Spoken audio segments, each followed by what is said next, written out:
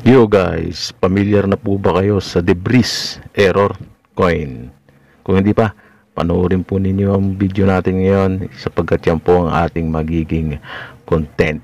Ayan, debris error or uh, extra metal chip error. Pareho lang yun eh.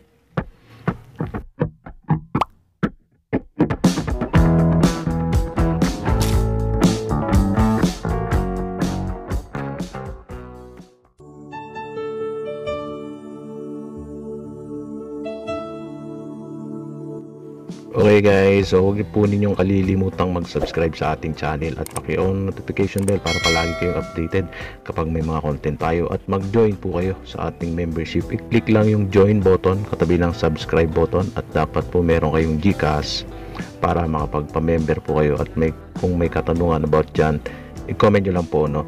Debris extra metal, ayan. Debris extra metal struck onto surface of coin. Sometimes the extra piece will fall away. So ayan po yung standard ng uh, debris or uh, die chip no, extra metal chip error. Itong mga debris na to, may mga nakikita na ako nito. So parang nagiging common itong mga debris error na ito. Dahil nga po sa dami ng ating nakikita. Pero guys, no, depende pa rin po yan. Kasi may mga level, may mga level kasi yung mga error na yan, you know. Lalong-lalo na halimbawa yung uh, debris error na iyong hawak ay uh, uh, malaki no? or uh, madami yung lumabas na debris dyan sa iyong coins. At uh, lalo't uh, maganda yung kondisyon ng uh, coins mo no? Sabihin natin uncirculated tapos may mga debris error pa siya.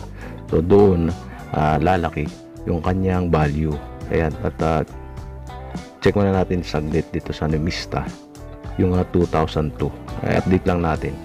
Kasi nandito na rin lang tayo uh, para ma-update tayo kasi may mga bago tayong mga viewers yan para maintindihan po nila no? itong uh, year 2002 ay uh, meron pong variation din yan so tingnan natin sa kasalukuyan kasi huli kong check dito dalawang variation ang meron tong year 2002 BSP bimetallic at uh, syempre sa mga bago kung bago ka pa sa pag kilatis no, at pagkukolekta ng barya dapat malaman nyo po yung mga variation ng ating mga BSP series coins from uh, uh, 1 peso, 5 peso to uh, 10 peso ayan mga BSP series coins. At ganun din sa new, new generation currency natin. Ito no 2001 yung nasa unahan guys reverse 1B yan. At uh, 0.90% siya no.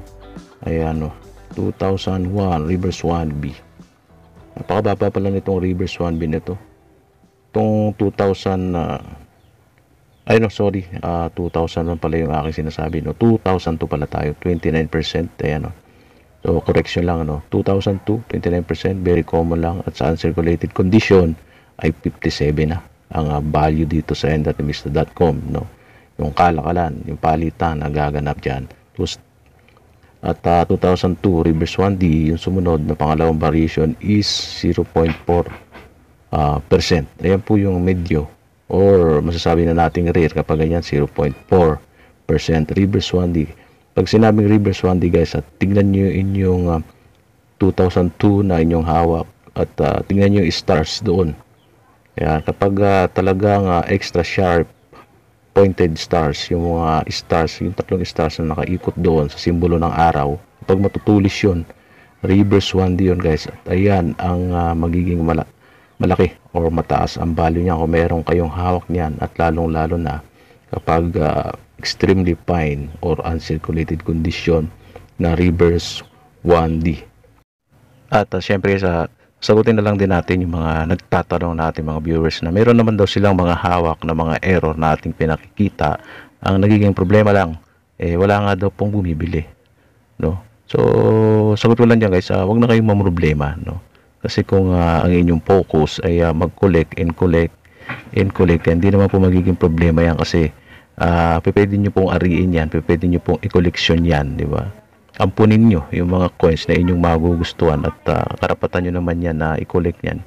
At uh, yun nga kung uh, gusto nyo mag-listing lang at uh, kung kayo ay magpo-focus sa pagbebenta marami pong uh, group no mga pages sa Facebook na uh, pwede nyo i-share ang inyong mga coins no? At siyempre pag-aral na kayo sa mga error sabihin nyo kung anong error yan. At uh, advice lang din kung kayo po ay magli-listing ng mga inyong mga error coins ay dapat po maganda ang kondisyon kasi pag medyo uh, about good na lang inyong barya hindi na po kasi mapapansin yan katulad ng aking sinasabi palagi di ba kahit common ang error niyan pero kung uncirculated condition naman ang inyong barya ay mapapansin niya at siguradong magugustuhan yan kahit papaano.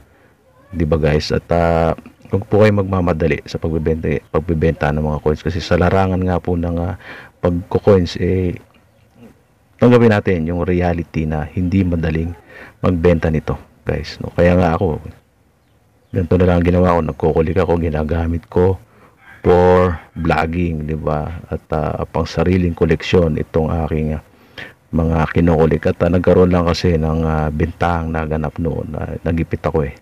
So nag-offer mayroong mga mabubuting loob ng mga subscriber natin. Na sige bilhin ko na lang yan para makatulong. At doon napilitan na rin akong ibenta yung aking mga rare coins. At uh, nagamit ko at nakatulong. Pero sa ngayon uh, focus pa rin sa pagkukulik at pagpaparami at pagsishare sa inyo ng mga impormasyon tulad nitong 10 piso na ito.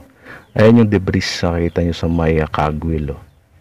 May extra metal na sumingit dyan sa mga ipin nitong 10 pisong ito. Ayan guys, no, yung debris na tinatawag na kung tawagin din ay uh, metal, extra metal. Ayan. Kaya kung meron kayong ganito, no, baka may hawak kayo na ganito, mga extra metal na ganito. Kahit sa piso, 5 piso at 10 piso. At uh, yun nga, no, dapat uncirculated. Dapat meron kayong uncirculated, i-share nyo sa Kali, may online Facebook page. Ayan, baka mayroong magkagusto at baka magustuhan ko rin, no? Hindi naman natin sinasabi agad na bibili ko. Titingnan natin. Kasi nga kung bibili nga kayo, or ako eh, syempre gusto ko po uncirculated kasi pera na yan eh. Di ba? Kung gusto ko mag-collect ng ganito debris, dapat extremely fine at least or mas maganda kung uncircul uncirculated. Ayan, medyo nabubulol na naman tayo.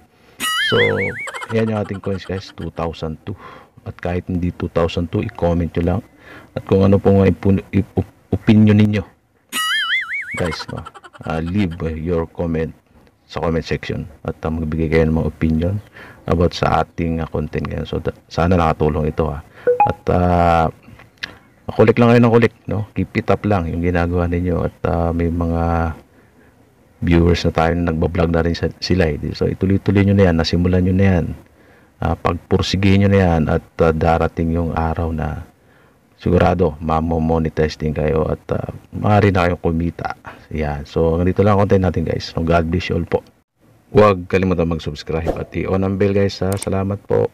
Out na tayo